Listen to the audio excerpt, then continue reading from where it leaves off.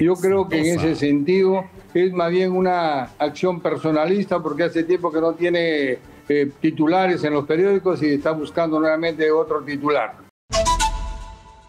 Mm, rápidamente a una entrevista vía Zoom con Wilmer Helera, congresista de Somos Perú y miembro de la Comisión de Fiscalización. Hay muchas cosas que están pasando en el Congreso de la República, pero vamos a empezar rápidamente. Le damos la bienvenida al congresista Helera. Buenas tardes, congresista. No lo estoy escuchando. ¿Puede prender su eh, audio, por favor? ¿Puede activar su audio? Puede activar el audio. ahora sí, ahora sí lo escuchamos. Bienvenido. Ahora sí, lo escucho perfectamente. Eh, vamos a empezar con el tema. Muchas gracias por la invitación y listo para conversar. Muchas gracias a usted por recibirnos. Eh, vamos a empezar con el tema de la congresista Patricia Chirinos. Ella ha adelantado que ah, presenta una moción de acusación constitucional contra el presidente de la República. Ha dicho que recién lo va a conversar con su bancada y que eh, va a hablar con las demás bancadas. El Fujimorismo ha dicho de que todavía no lo ha hablado y que le parece... Eh, Nano Guerra García dijo que era algo así que como una iniciativa personalísima y que no estaban en momentos de individualismos. Me parece que no le pareció muy buena la iniciativa, que esperaba consensos para lanzar algo tan fuerte. ¿A usted qué le parece? Una acusación constitucional contra el presidente de la República por incapacidad flagrante y evidente corrupción en su gobierno. Somos Perú, ¿cómo actuará frente a esto? Primero, tiene que presentar esta moción constitucional, esta denuncia, y realmente habría que evaluar si es que realmente tiene razón. Yo creo que en ese sentido es más bien una acción personalista porque hace tiempo que no tiene eh, titulares en los periódicos y está buscando nuevamente otro titular. Yo creo que debemos esperar que se presente y evaluarlo que está dentro de lo que es la constitución política del Perú. Mm, a usted también, por sus declaraciones, por lo que me acaba de decir, le da la impresión que esto, siendo tan sensible, se debería tratar en conjunto, en, una, en, un debate interno de todos los congresistas por bancadas, voceros, para ver si llegan a un eh, entendimiento y presentárselo al país. Yo creo que es cierto, yo creo que deberíamos estar primero discutiendo esto a nivel de voceros para posteriormente, si es que tiene eh, asidero legal, sobre todo asidero legal, para no estar haciendo vacancias por quítame esta paja, ¿no? Eh, realmente tenemos nosotros que evaluarlo y a nivel de voceros ver si que realmente vale la pena ponerlo en el pleno pero ya no es quítame esta paja. El presidente de la República ha demostrado y además de su boca ha salido que no sabe gobernar y hay una serie de hechos uno tras otro, cada día sale un escándalo más que ponen en evidencia que el presidente de la República se va por el camino de los malos. Esto nada más para eh, graficarlo con un problema reciente. Prefirió a Gallardo que a Guillén a Gallardo lo precedía una serie de denuncias de ascensos comprados y una serie de elementos y a Guillén no. Pareciera que tomó el peor camino.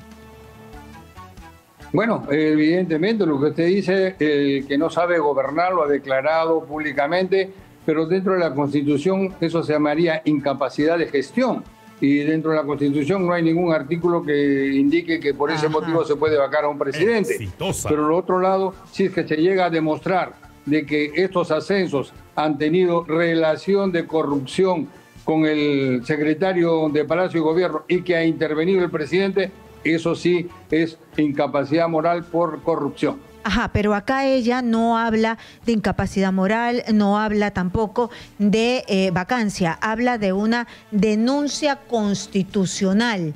Eh, ¿Esto qué conlleva, no? Una denuncia constitucional. ¿Se le puede denunciar constitucionalmente al presidente de la República desde el Congreso de la República? Y yo me imagino que sí se abre ya otro camino, porque el camino de la Fiscalía está cerrado.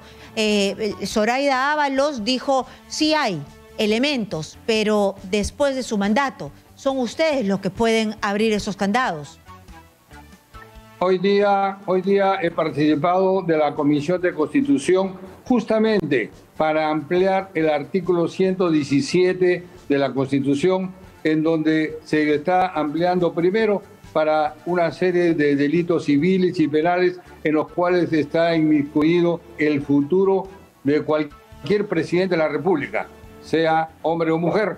Y en ese artículo 117 se está viendo de qué manera poderlo eh, eh, interpretar y ponerlo en vigencia.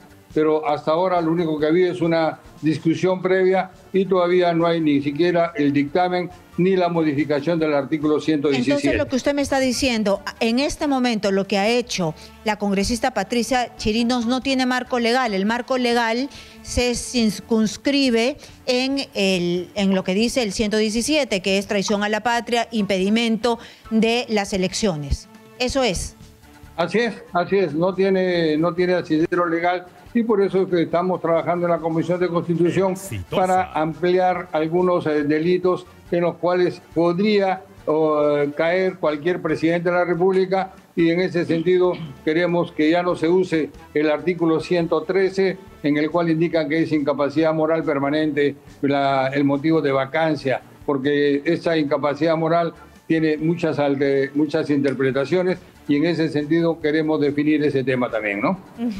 Muy bien, entonces me imagino que esto va a dar para un largo debate, pero si quiere calzar una figura que todavía está en debate, va a tener que esperar que termine el debate, ¿no? Y para cambiar esta... Eh, este 117 es una reforma constitucional y la reforma constitucional lleva tiempo y están acabando una legislatura. Sí, evidentemente esto va a demorar y yo creo que estaríamos pensando en que tenemos que esperar una segunda legislatura para poder aprobar lo que hoy día todavía está en debate, ¿no? Ajá, eh, bueno, entonces, bueno, entonces esto está en suspenso y además tiene para largo todavía. Eh, le quería preguntar, usted también es miembro, yo lo presenté como miembro de la Comisión de Fiscalización. En la Comisión de Fiscalización estuvo invitado el, el sobrino del presidente, el sobrino del presidente Fray Vázquez Castillo este sobrinísimo que lo hemos visto eh, interactuando con Carguapoma primero y después como anfitrión de la Casa de Zarratea les ha presentado un certificado de COVID eh, positivo falso para no ir a su comisión. ¿Les mintió? Sí, eh, es cierto. Lo hemos vuelto a invitar para el día viernes 4 y aquí en mi mano tengo el certificado médico falso que ha presentado este señor de un laboratorio clínico que está ubicado en la avenida Betancourt, Manzana 142, Loto 12 de la urbanización San Roque en Los Olivos. Todavía dice frente al Colegio San Antonio de Padua. Yo creo que esto amerita que es una, un delito que ha cometido este señor y por lo tanto el viernes 4 que está citado, si es que no llegara, va a ser citado de fuerza, ¿no? ¿Y ustedes lo van a denunciar? ¿La comisión puede denunciarlo? ¿Los abogados de ustedes pueden denunciarlo? Porque en el reportaje quedó claro de que el local no existía, la médica dijo que ella no había firmado, es decir, todo mal. Se está jugando con falsificación de documentos, el presidente de la República sigue mudo, no ha dicho nada y además está ahí por ser casi casi el escudero del presidente de la República, ¿no? Bueno, al que le corresponde denunciar estos hechos es al procurador. Yo creo que en ese sentido le estaremos dando los elementos necesarios y los certificados para que él pueda hacer la denuncia correspondiente, ¿no? Muy bien. Entonces, ustedes lo esperan, pero eh, en la investigación, además de estar eh, involucrado en todas las idas, mentiras, claros oscuros de la casa de Zarratea, también ustedes lo van a investigar, encauzar, ver qué hacer por mentiroso. Sí, evidentemente nosotros lo que queremos es la verdad y en ese sentido vamos a seguir escudriñando a estos testigos que hemos citado para que nos puedan decir de qué manera eh, está o no está inmiscuido nuestro presidente de la República. En ese sentido, yo ya le he dicho al señor Bruno Pacheco el gran daño que le ha hecho a la salud política del Perú, porque nunca debieron aparecer esos 20 mil dólares en el baño del Palacio de Gobierno. Muy bien, ustedes están jalando por allí en el tema político, viendo cómo pueden ayudar a esclarecer esto.